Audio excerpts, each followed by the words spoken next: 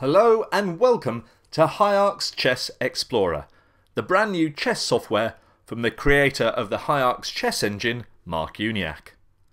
So let's take a very brief look at some of the main features of this new chess software interface.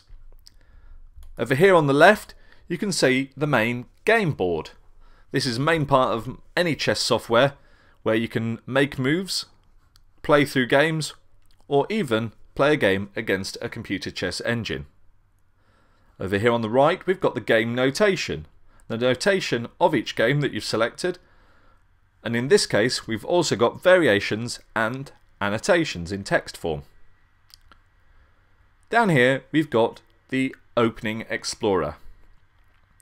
This gives you useful information on what moves have been played in the current position with some very interesting statistics as well. So currently we're at the starting position, so you can see top moves that are played based on games in the database are things like e4, d4 and knight f3. Here we've got the Analysis Explorer. This is a very important part of the new HIARCS Chess Explorer. This is where you get to see the analysis from the currently loaded chess engine. Here we've got HIARCS 14, the brand new chess engine from HIARCS, which is currently the World Computer Software Champion. Clicking this button will start the analysis and then we get a variety of different information and statistics by clicking here. Finally, we can take a look at the Game Explorer. This is where you can select the games, play through them and view a variety of different games.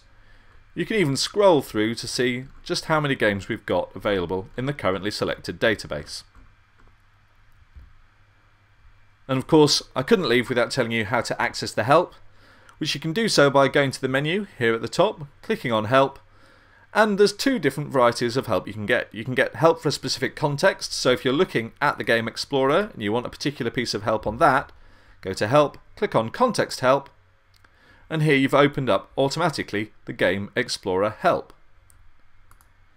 If you want the full help manual that comes with HIARCS Chess Explorer, simply go back to the help menu and click on HIARCS Chess Explorer Help.